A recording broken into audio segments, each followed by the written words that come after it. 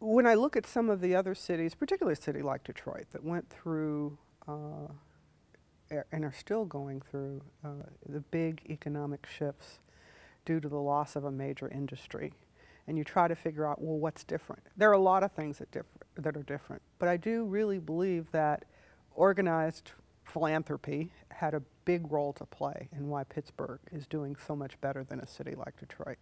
If I've got my stats right, Pittsburgh is somewhere around fifth largest foundation per capita in the nation. That's considerable.